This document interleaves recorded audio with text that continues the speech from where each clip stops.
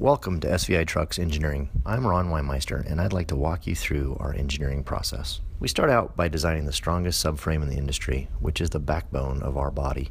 As you can see on the screen, our 3D design engineers use advanced software that allows us to see exactly what's going to be built and maximize the design and strength. Here we are doing FEA stress analysis on a trailer hitch, testing the maximum allowable tongue weight and pulling force that it can withstand before deflection. The next process is designing all the sheet metal panels.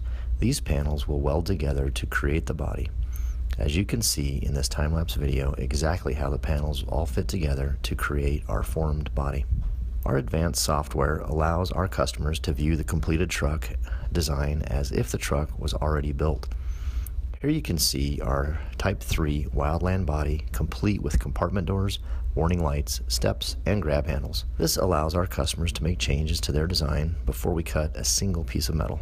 As the sheet metal panels are removed, you can see our pump plumbing design.